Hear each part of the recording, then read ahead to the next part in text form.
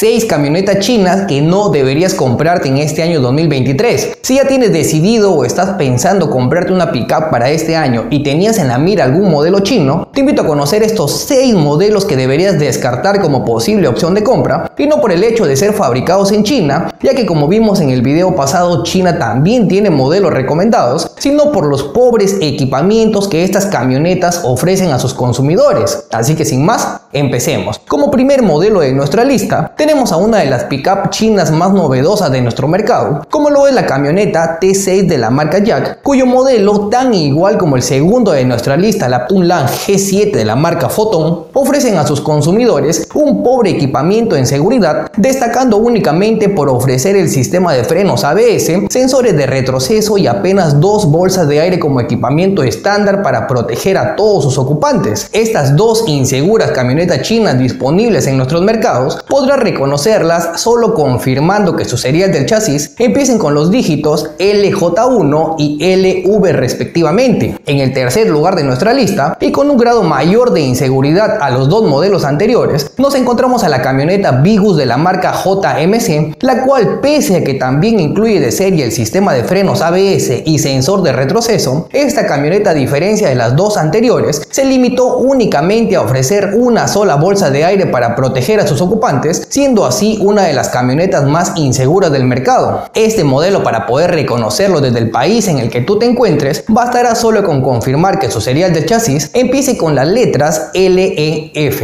En el cuarto y quinto lugar de nuestra lista nos encontramos a la camioneta F70 de la marca Chang'an, así como también al modelo Terralord de la marca ZX Auto. Estos dos modelos actualmente disponibles en nuestro mercado comparten todas las características de los tres modelos anteriores, como el de venir equipados con solo dos bolsas de aire, pero además de ello y en beneficio de sus propios consumidores, decidieron adicionar a su equipamiento estándar el sistema de asistencia en pendientes, detección de punto ciego y el muy importante sistema de anclaje ISOFIX. Sin embargo, lamento decirles que si todos estos cinco modelos fuesen evaluados por el programa de seguridad Latin Cap, lo más probable es que todas estas camionetas sean desaprobadas con la más baja puntuación en seguridad de 0 estrellas y esto básicamente se debe a que el sexto modelo de nuestra lista, la camioneta Wingel 5 de la marca Gridwall, que al igual que los cinco modelos anteriores, también viene equipada con solo dos bolsas de aire y frenos ABS, luego de haber sido evaluado por Latin Cap en sus diferentes pruebas de impacto, fue calificada por este programa como una de las camionetas más inseguras con 0 estrellas, pues dentro de sus principales observaciones se puntualizó que esta camioneta no incluye el tan importante control de estabilidad electrónico, tampoco las 6 bolsas de aire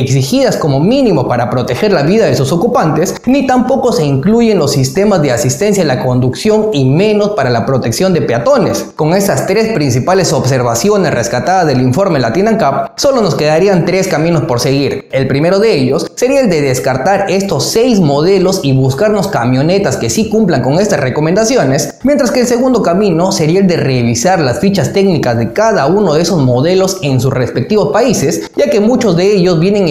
según el mercado destino, por lo que si en caso llegases a verificar que estas camionetas en tu país se ofrecen con mejores equipamientos, estaría totalmente en tus manos evaluarlos para tu compra. Y por último, como tercer camino también totalmente válido, sería el de decidir comprar cualquiera de estas seis camionetas sin importar todo lo que acabamos de ver en este video. Recuerda que si deseas averiguar dónde ha sido fabricada aquella camioneta que estás pensando comprarte, puedes consultarlo desde nuestro aplicativo móvil solo ingresando su serial de chasis. Menciona en los comentarios qué otra marca o qué otro modelo te gustaría que analicemos para el siguiente video. Soy Víctor Vite, ha sido un placer como siempre tenerte en este video. Hasta la próxima.